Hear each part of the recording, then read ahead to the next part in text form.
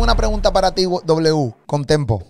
Eh, sabemos que cuando Tempo salió de la cárcel, le hemos hablado ya infinidad de veces, pero es un tema que todo el mundo sigue hablando.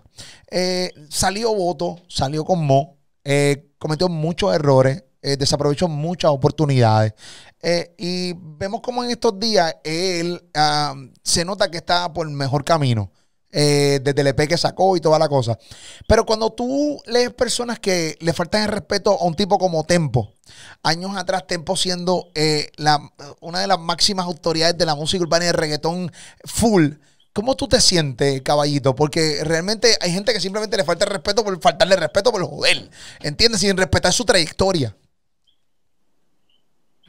Mira, yo creo que nosotros vivimos en un género molusco demasiado de honesto, que la gente a veces eh, dice cosas, quizás siendo honesto, siendo sincero, pero a veces no mide las palabras, ¿verdad? Eh, y, es válido porque cada cabeza es un mundo, Coyote, este, y Mario, y, Molusco, la persona puede decir lo que quiera. Yo, yo sí te voy a hablar de David.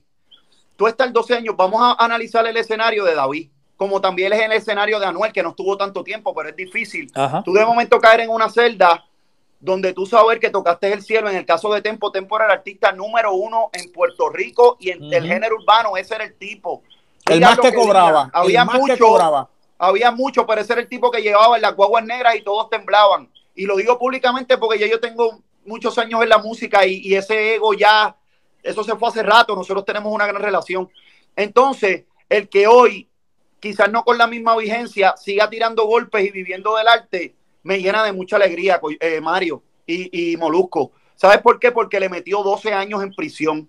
Y casi siempre las personas que duran más de una década en prisión salen tilteados, salen bien, porque tú te desconectaste por una década del, diario vivir, de lo que está pasando, la tecnología cambió. A él en prisión lo cogió el cambio de, de, de, la cassette del CD con, la, con, la, con esta nueva tecnología, con estas nuevas tendencias. horrible, horrible. y, todo, y todo eso hay que llevarlo para no justificar quizás decisiones que no ha tomado correctas, y yo se las he dicho, pero otras sí las ha tomado, y lo más importante que él tiene es que es un guerrero.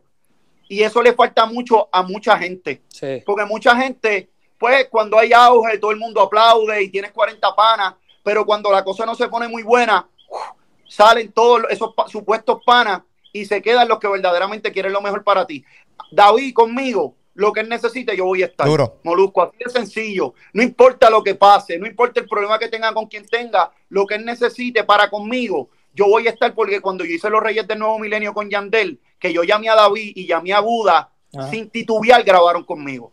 Siendo, siendo el número uno del, del no, pegado, estaba el número uno, el más, todo el mundo quería grabar con él y yo he crecido entre pistolas. Me dijo, voy para el estudio, hizo la melodía en el piano, grabamos, Buda conmigo se portaba de una manera increíble y todos ellos, así que hay un agradecimiento. No, lo de nosotros es honor, de bueno. ¿me entiendes? Duro. Espérate, lo, y, aquí, diferente. Y aquí tiró como si no hubiese estado preso. Por eso. Y se dejó llevar. ¿Sabes? Por favor. Eh, porque, es importante eso. entendió. Sí, pero eso es importante, exacto, que se dejó llevar, que, que, él sabe que el talento que tiene, pero también debe dejar. No, mira, yo te aseguro que yo me meto al estudio, y yo me meto al estudio con David y hacemos tres, cuatro temas de manera correcta, con las personas correctas y él va a hacer cosas gigantes porque él ya está haciendo cosas grandes. Pero yo creo que al intentarlo, Mario, brother, es gigante. Para mí es válido porque tú tienes derecho también, después de 12 años en prisión, de, de tú tirar golpe y, y de que ese bizcocho grande que todo el mundo ahora está cogiendo y todo el mundo está cogiendo una tajada, que él también tenga su pedazo, porque él se lo Claro, definitivo.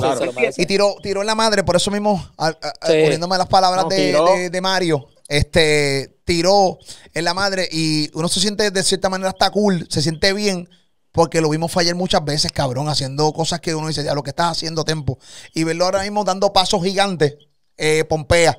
¿Entiendes lo que te estoy diciendo? Sí. Amén. Para mí también, y esa es mi mentalidad. Y si yo puedo ser una herramienta para ayudar a un colega, a un amigo, no ayudarlo, Tempo está muy bien, pero que pueda seguir haciendo cosas grandes y sea parte de proyectos grandes, claro que lo voy a hacer, brother. Claro que sí.